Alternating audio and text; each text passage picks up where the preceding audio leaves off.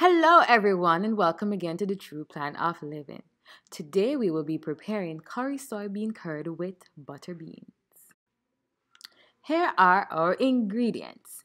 We're going to use 4 cups soybean curd, 3 cups butter beans, 1 small green bell pepper, 1 small yellow bell pepper, 1 medium sized onion, 1 tablespoon turmeric powder, 1 teaspoon cumin, 1 tablespoon salt, 1 tablespoon Italian blend, and 2 cups coconut milk.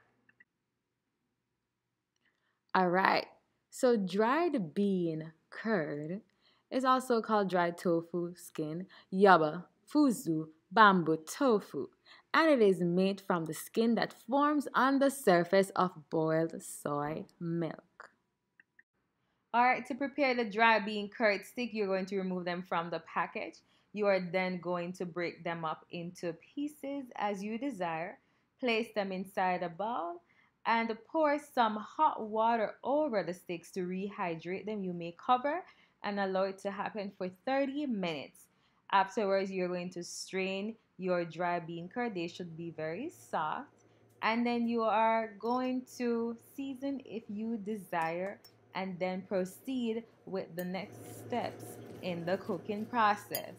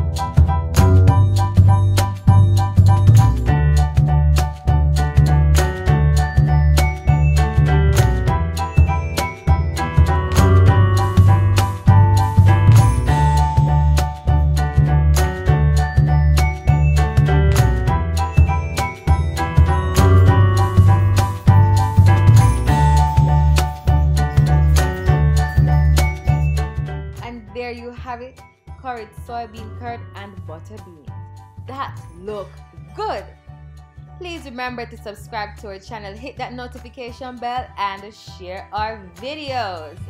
And that is it again on the True Plan of Living. Thanks for joining us on the True Plan of Living. See you next time.